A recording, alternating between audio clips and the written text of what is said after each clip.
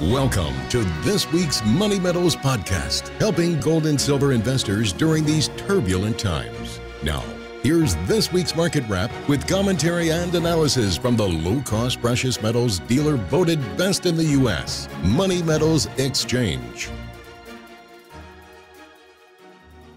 Welcome to this week's Market Wrap podcast. I'm Mike Gleason. Coming up, we'll hear part one of an interview Money Metals president Stefan Gleason gave with Palisades Gold Radio.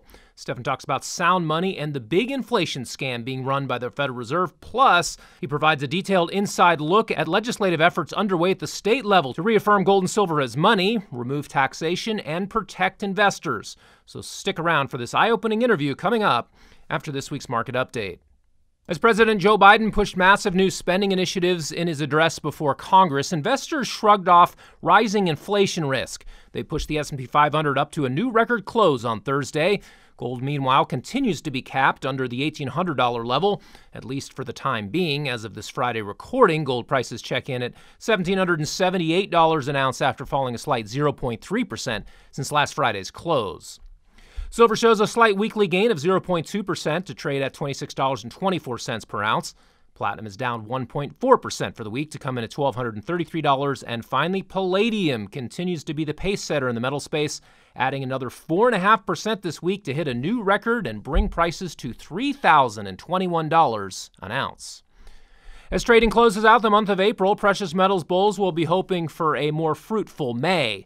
Although May is typically a quiet month in markets, not known for producing major crashes or price spikes, it can represent a seasonal turning point. The old adage, sell in May and go away, is premised on the stock market entering a seasonally weak period that typically lasts through October. Last year was a very abnormal year, of course, and this one looks to be atypical as well. With all the fiscal and monetary stimulus still making its way through the economy, seasonal trends in markets could be moot. A major breakout in gold and silver prices could occur at any time. A short squeeze in the futures market remains a viable scenario given the still ongoing disconnect between tremendously strong demand for physical bullion and paper selling of futures contracts. Some online silver investing communities are eyeing May 1st for a massive new buying campaign.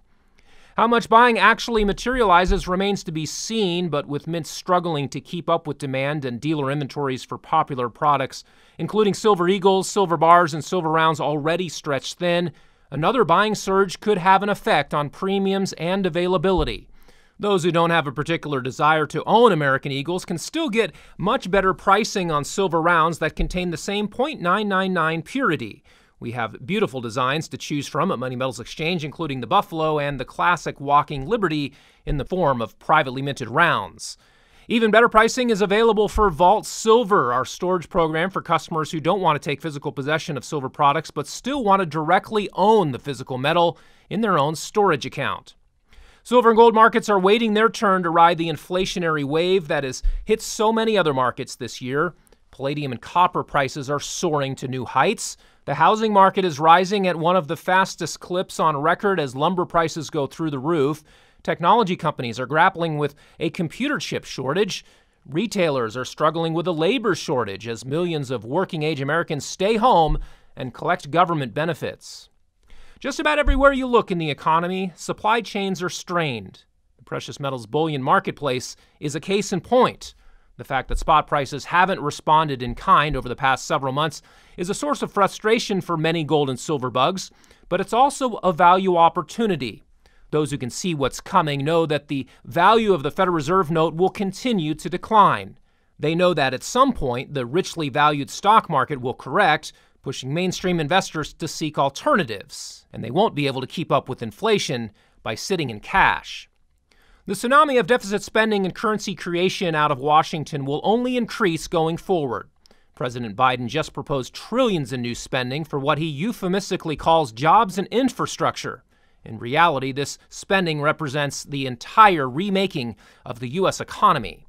Biden's far reaching agenda is leading some to compare him to Franklin Delano Roosevelt, FDR is commonly believed to have pulled the country out of an economic crisis through a range of government programs that fell under the banner of the New Deal. What's less commonly understood about FDR is that he radically expanded the power of the government to control and destroy wealth.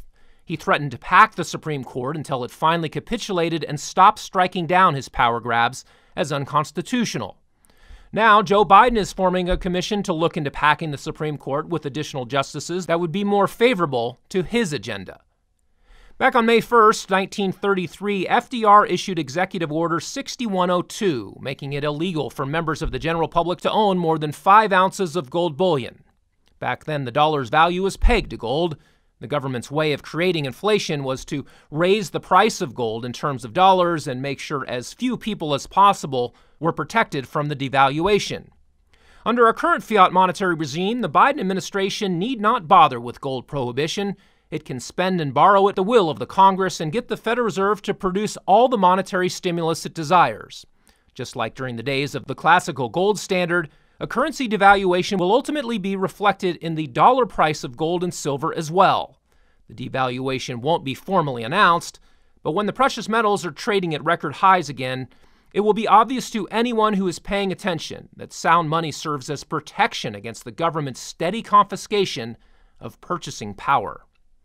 Well, now, without further delay, let's get right to part one of Stefan's recent interview with Palisades Gold Radio. We live in a fantasy world now. Reality has been destroyed. This is the time that you really need to pay attention. The probabilities are overwhelmingly on gold's side. That is the best environment to see gold increase its value. Welcome to Palisades Gold Radio. I'm your host, Tom Bodrovics. Joining me today is Stefan Gleason, president of Money Metals Exchange and also a director of the Sound Money Defense League. How are you today, Stefan? Hi, Tom. Thank you for having me on. I always enjoy your shows. When I go out running, I always have it on my iPod. I've been a listener for a long time. That's awesome. I, I appreciate the uh, the support.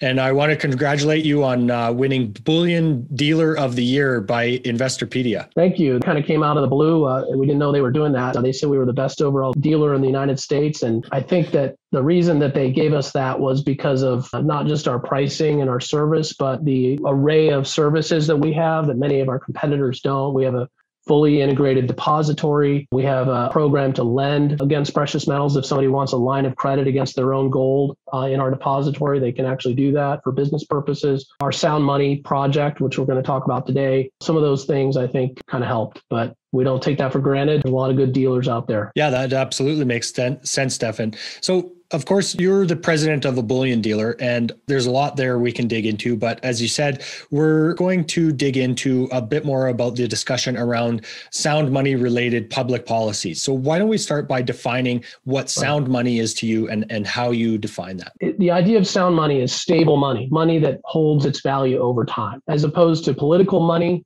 or fiat money, which is based on not just nothing tangible, but is really at the whims of the political leaders or the central bankers. And so as a result, you have a very unsound money, a, a money that's volatile and that generally has been depreciating. But the idea of sound money is storing purchasing power over time, uh, not having huge amounts of variation in, in the purchasing power over time. And, and gold and silver have essentially been chosen by the market over the last 4,000 years as the money that sustains and preserves purchasing power. And so that's probably the greatest example of sound money. But there are other things that could be sound money theoretically. So the idea of sound money is really the opposite of what we have today, which is political money, fiat money, and government control, economic policy through government central planning, uh, where the currency is one of the main tools used to control the economy or plan the economy. And that's Keynesian economics as opposed to the Austrian school or the hard money or sort of the sound money oriented economic thinkers who have been, basically been completely uh, run out of the academia. That school of thought has been essentially eliminated from a legitimate discussion over the last 100 years or 75 years since the New Deal. It's starting to come back. Many of these people are prominent thinkers and are becoming more prominent. But the general mainstream is Keynesian economics, and that's very contrary to the principles of sound money. Excellent. So you have a sound money index on your site that ranks all 50 US states' monetary policies. So what does this index try and help illustrate? We've been focused on public policy for at least the last five or six years as one of the areas that we think we can do some good for the industry and for our customers and for the country. And of course, the main problem originates with federal policy, Federal Reserve System, removal of gold and silver from the monetary system, and of course, the most recent and the, the most significant event was the removal of the last link to gold in the early 70s, which led to an explosion in government debt. There was no longer any tether or any restriction on the issuance of new currency units after we violated and broke the Bretton Woods Treaty temporarily. I think was how it was framed at the time. Uh, so, as, if you look at what happened with government since then and government debt, it's like a hockey stick. The debt expanded dramatically and government expanded dramatically since the early 70s. So, anyway, I just want to start by pointing out that the main problem is federal policy. We have some legislation addressing a couple of the, the areas there, but there's, of course, huge problems, the Federal Reserve System itself, and so on. But there are some things that states can do. And we've found that at the state level, there's a greater possibility of affecting positive change on the public policy front and while we are still involved in federal policies, really the successes that we've had in the last few years have been at the state level in certain states. Obviously, there's an opportunity to create competition between states. Some states are more left wing sort of oriented than others. That does affect their policies on lots of things. It affects their tax levels, it affects their the freedom of their citizens. And not surprisingly, those states are lower, generally lower on the index when it comes to sound money. But we basically just looked at all the things that a state can do, uh, either is doing or could do, that would reaffirm the role of gold and silver as money, remove taxation from it when you buy and when you sell. Other areas of public policy, such as whether the state has a state charter depository for precious metals, whether the state owns gold as an investment, say in the pension funds, whether a state has laws that harass dealers or even private investors who seek to buy or sell gold. And we can talk about a couple crazy things that states do on that front. And we also looked at a couple things like whether a state owns gold in the pension fund, whether it has it as a reserve asset, whether the state owns gold bonds, whether the state issues a gold bond. None of them do either of those things, by the way, yet. But that's a topic I think you had Keith Weiner on at one point. He's pushing that issue and making some progress. But about 55% of the overall index scoring is centered around whether the state has sales tax when you buy precious metals or income tax on gains if you sell precious metals. And so that's probably the major issue. Some remarkable differences between the states, though, on just those two. So, Stefan, explain to us why a sales tax on precious metals is a silly idea, and maybe use the example of breaking that $5 bill that you use in that index. When you're acquiring precious metals, you are simply exchanging one form of money. I wouldn't necessarily call it money, but we're told that it's money for another.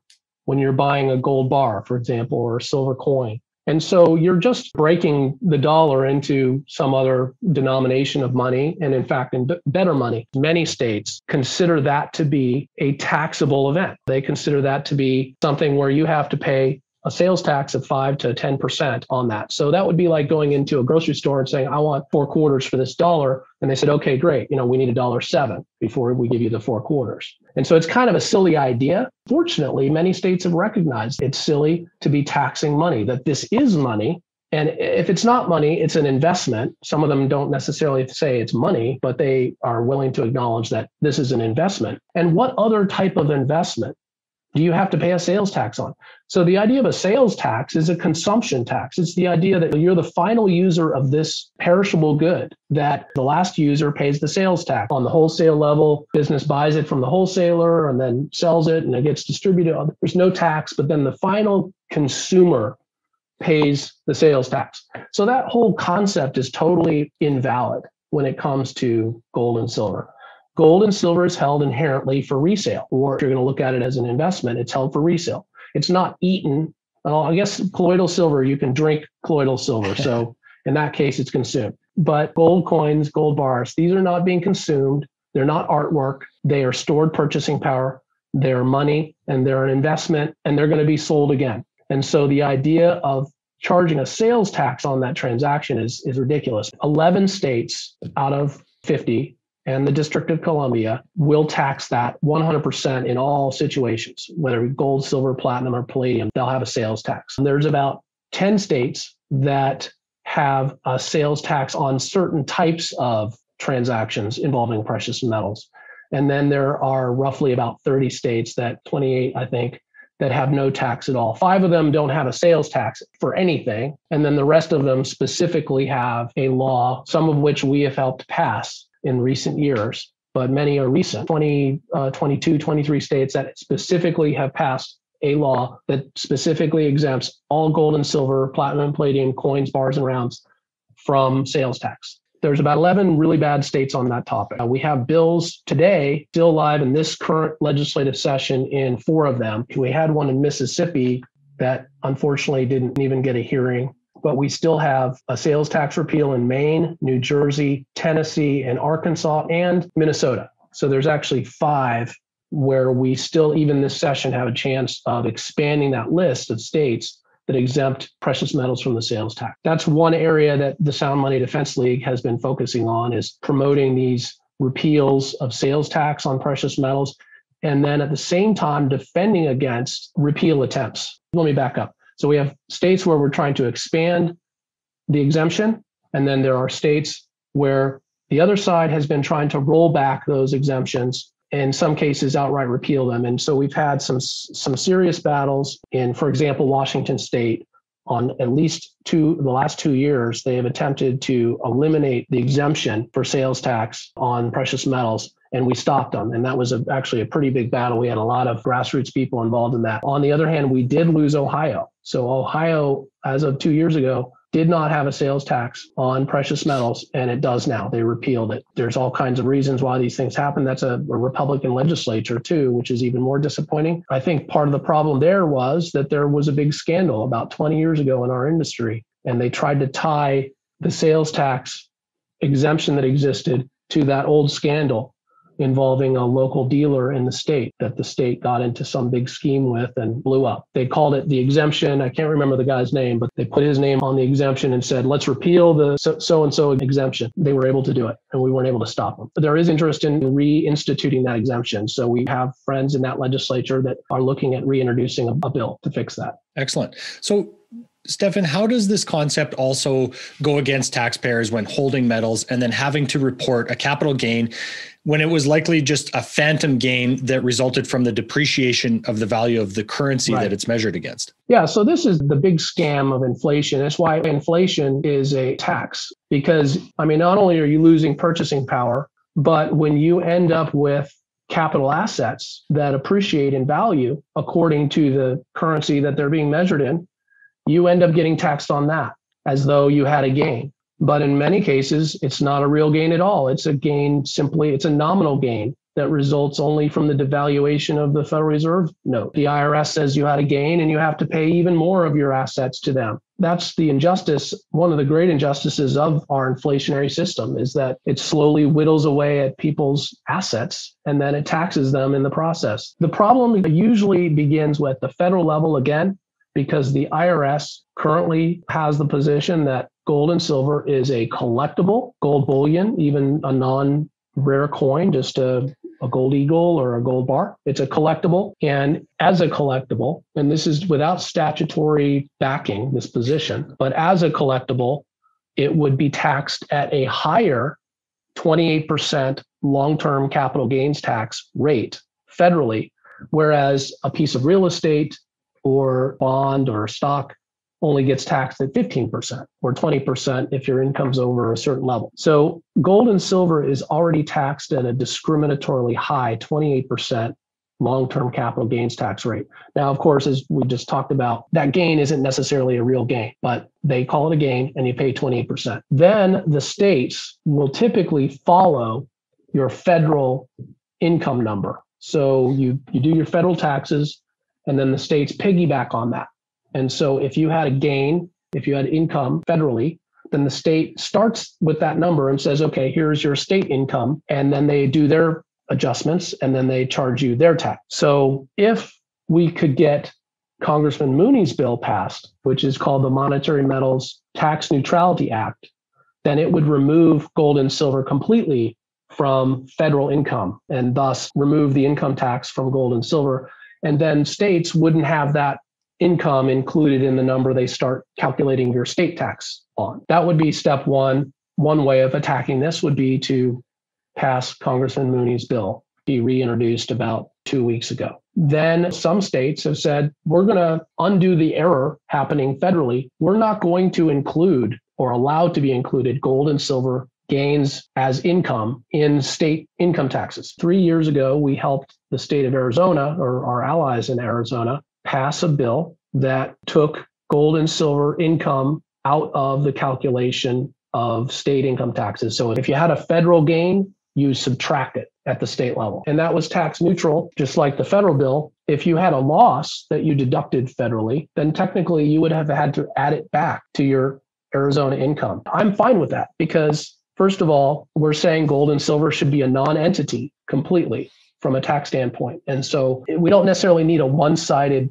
giveaway. But on the other hand, most of the time, because of this inflationary system, there's going to be gains because just by going nowhere, they're going to have a gain when priced in Federal Reserve notes. So taxpayers will more often than not win with that kind of law, even though they might have to subtract, uh, or I should say, add back their losses if they had deducted them federally. Hopefully, we don't ever have to really sell our gold or silver for a loss. Unlikely to have to sell for much of a loss in this crazy inflationary environment that we're in, a loss from their standpoint, anyway. The law passed in Arizona. We had a, a law in Idaho. We only passed it through one house that, uh, so that wasn't enacted that would have removed gold and silver from the income tax. There is a bill in South Carolina right now that would do this. And we did pass such a bill in Wyoming. Actually, we passed in Wyoming with some help of allies in state and Campaign for Liberty based in state. We were able to pass a law that said there shall be no taxes of any kind on gold and silver no property tax, no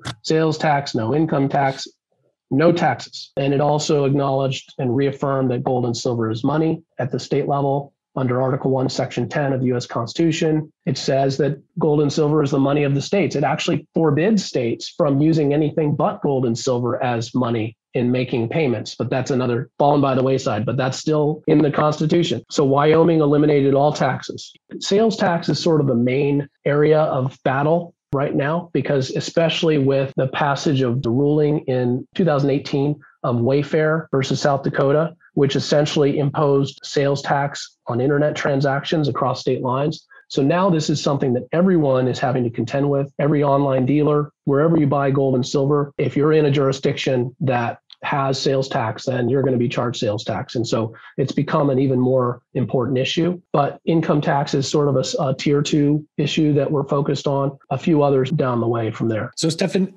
are there any possibilities, let's say, for somebody to go next door to a state that has more favorable, uh, let's say, tax regime around gold and silver, and then bringing it back right. across state lines? Are are there any examples of that that you know that are, let's say, you don't have to declare necessarily, or um, yeah. do you have to declare all of those? Okay, so there's sales and use tax.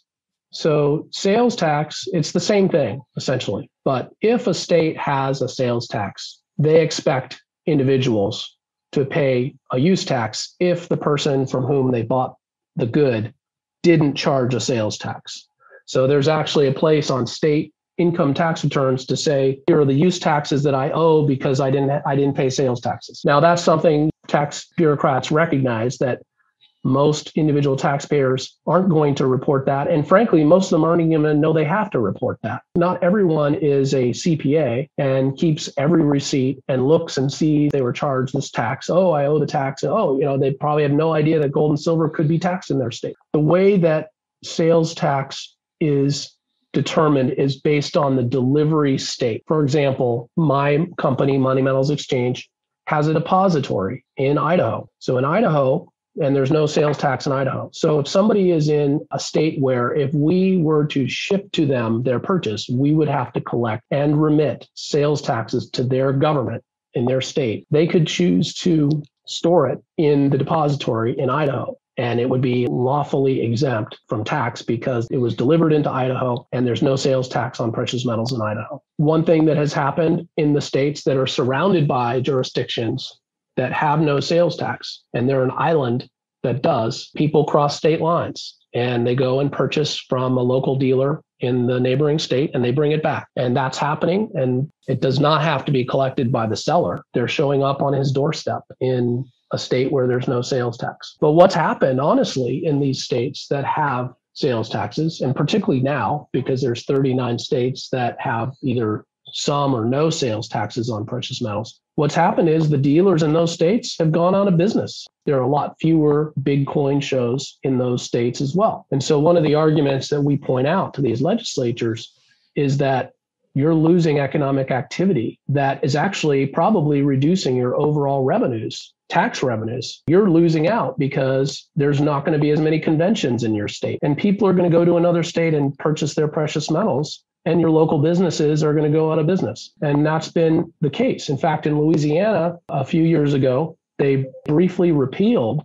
the sales tax exemption on precious metals. And very quickly, some businesses started having big problems. They lost conventions in New Orleans and so forth, and they quickly repealed it and said, We made a big mistake. We cost ourselves way more than we were thought we were getting. When you're talking about five to 10% being added to the price of precious metals, it's a big incentive for somebody to figure out a way to store precious metals in a state that doesn't tax or acquire them from a state that doesn't tax and take them back to their state. We certainly see a lot more, even more interest in our depository than ever because of this developing sales tax situation. And as I mentioned in Idaho, like many states, there is no sales tax. And so it's stored in the depository, no tax. Yeah, it sounds like there's a lot of intricacies around how all of this works. And that resource on your website is excellent. And I encourage everybody to go look at it. We'll absolutely link to it in the show notes there as well, Stefan. What does having a state gold and silver bullion depository achieve? There's one state that has such a system, and it's Texas and this made the news five or 10 years ago. They created a state depository system. They had independent or private contractors all bid on being state chartered depository. And so it's under the auspices of the state controller. So it's indirectly a part of the state's regime, if you will. And, and it's not state run, but it's state overseen, I guess is probably the way. So, I mean, obviously that's a tricky issue. On one hand, I think there's benefits. On the other hand, I'm a private business owner, and I don't necessarily want to be competing against a government supported depository. But the theory on why that's a good idea is that there may be greater protection for such a depository, one that's under the state police powers of the state financial system directly or even somewhat indirectly in the case of a federal aggression, because states have the preeminent position, states themselves, in being a protection, if you will, against a federal confiscation or something like that. So theoretically, a state run depository would be in a better posture if the Fed said all gold has to be turned into the federal government. Regulation in Idaho, we are under a regulatory regime with the state Department of Finance. And, and I think many depositories in their states have some level of regulation. But I don't necessarily think government intertwining with my business would be a good thing. And so I'm not really eager to be a state depository, so to speak. But it is a policy that we have on the index because we think that there's some merit to the idea. Now, one thing that's interesting in Texas, part of the reason that that whole thing was started is because Texas is one of the few states that has a very significant holding of gold bullion. And so part of the rationale for a state depository system was why do we want to store this bullion that the state owns for the teacher pension fund? And they have like a billion dollars worth of gold, the Texas Teacher Pension Retirement Fund, but it was in the hands of Wall Street. And they were paying storage fees, of course, which may be less if it was inside of a state charter depository. So I think that's what got the ball rolling in Texas was, hey, we got a billion dollars worth of gold that represents a few million dollars a year in storage fees. We're not real thrilled with the idea. And so, to their credit, the people that involved in the pension fund who brought this up and, and others in the state said, hey, we don't necessarily want Texas's government owned gold, which is supposed to help secure the pensions of our teachers. To be in the hands of Wall Street bankers and bullion banks, which may have re- hypothecated it or done something. And besides, it's costing a lot of money to store it there. We could create jobs here in Texas and store it in Texas. And so that's what started that. So in Tennessee right now, it's likely to pass. It's already passed one of the chambers, the Senate. There's a hearing Wednesday, the April 14th. There's a hearing in the House committee in Tennessee on a bill that would commission a task force to research having a Tennessee bullion depository. It's a valid idea, and it's one of the things that we rank in the index.